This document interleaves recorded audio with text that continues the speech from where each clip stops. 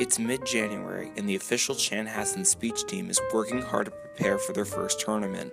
Their first official tournament takes place at Chanhassen High School on January 23rd. I'm in the category of discussion, so that means it's a lot of research because it's kind of similar to debate.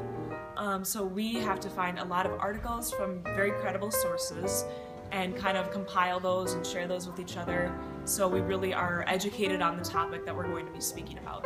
I am uh, starting new categories. I'm prepping for extemp right now, actually.